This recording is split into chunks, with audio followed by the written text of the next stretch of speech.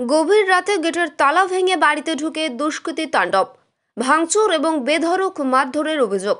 ঘটনাটি নদিয়ার শান্তিপুর সূত্রাগর অঞ্চলের দু নম্বর কলোনি বল খেলার মাঠ সংলগ্ন এলাকার। ওই এলাকার বাসিন্দা শুভ দেবনাথের অভিযোগ, গতকাল গভীর রাত্রে প্রতিবেশী এক যুবক বেশ কিছু বহিরাগত যুবকদের সাথে নিয়ে বাড়ির গেটের তালা ভাঙে। এরপর বাড়িতে ঢোকে তারপর শুরু করে তাণ্ডব। শুভ দেবনাথের স্ত্রী এবং বাবা ঠেকাতে গেলে তাদেরকে ধাক্কা মেরে ফেলে দেওয়া হয়।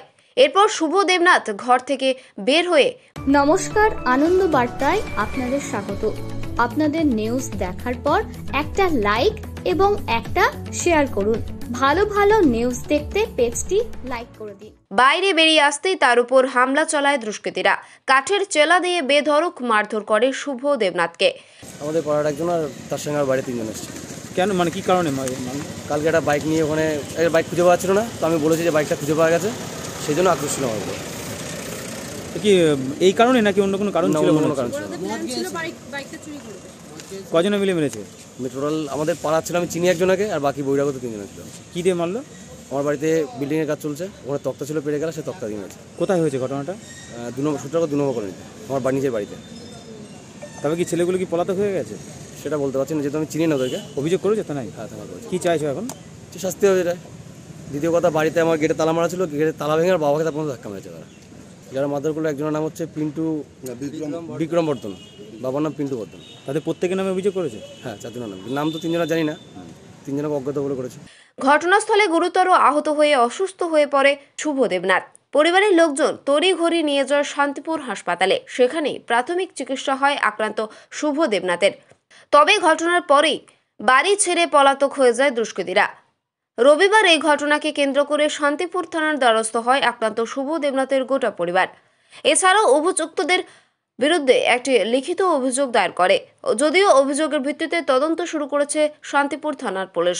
তবে গভীর রাতে এই ঘটনায় এলাকায় রীতিমতো চাঞ্চল্যের সৃষ্টি হয়। মারধর করা হয়েছে কাকে? আমার স্বামীকে। আপনি কোথায় ছিলেন তখন?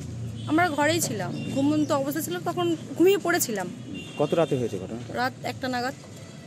কারা এসে এরকম আচমকা হামলা চালালো? পাড়ার থেকে একজন আর বাইরে অজ্ঞাত তিনজন এসেছিল বাইরে থেকে। কারণটা কি? কারণটা ওরা ওখানে অনুষ্ঠান ছিল। অনুষ্ঠানের সময় একজনের গাড়ি ওরা চুরি করার চেষ্টা করে। আর সেটা আমার স্বামী দেখে ফেলে। দেখে ফেলার পরে যখন তাদেরকে জানায় ক্লাবে জানায় যে এরকম বাইকটা পাওয়া গেছে তখন জানি না ছেলেটা কি হয়। ছেলেটা ওকে ধাক্কা ধাক্কি শুরু করে। ধাক্কা ধাক্কি শুরু করার পর আমার স্বামী বাড়িতে চলে আসে। সেখানে আর কোনো ঝামেলা না। ক্লাবের ছেলেরা ঝামেলা মিটিয়ে ওনাকে বাড়ি পাঠিয়ে দেয় ওকেও বাড়ি পাঠিয়ে দেয়।